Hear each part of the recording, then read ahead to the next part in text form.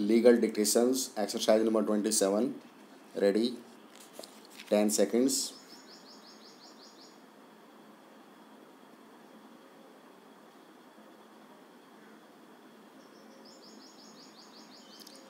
The ssc a cooperative society engaged in the business of providing credit facilities to its members and marketing their agricultural produce invested the surplus funds in short term deposits with the banks and in government securities and earned interest thereon.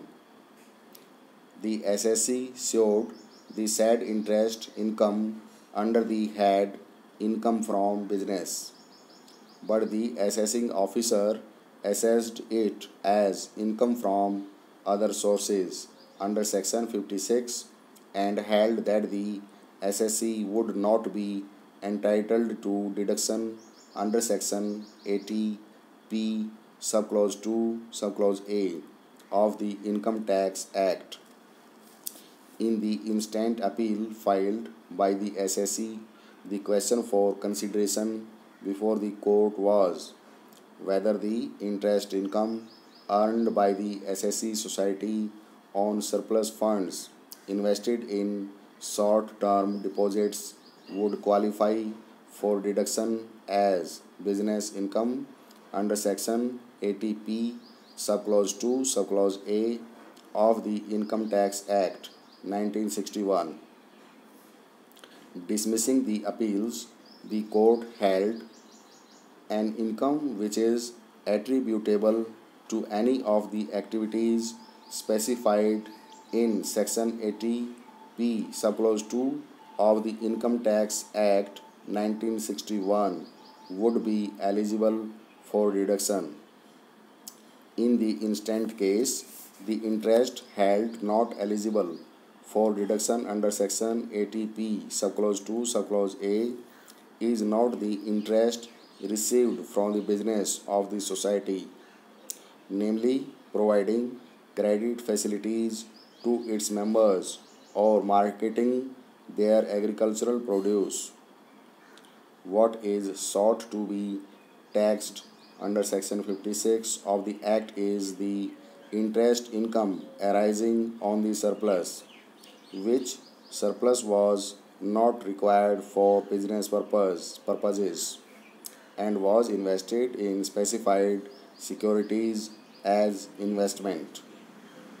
SSC markets the produce of its members whose sale proceeds at times were retained by it. Since the fund created by such retention was not required immediately for business purposes, it was invested in specified securities. Such interest income would come in the category of income from other sources and therefore would be taxable under section 56 of the act as rightly held by the assessing officer. The word income has been defined under section 2 subclause 24 subclause i of the act to include profits and gains. This subsection is an inclusive provision. The parliament has included specifically business profits into the definition of the word income.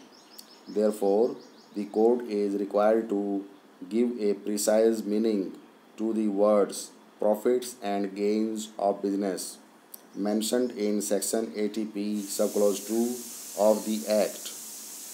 In the instant case, SSC society regularly invests funds not required for business purposes Interest on such investments cannot fall within the meaning of the expression profits and gains of business. Stop.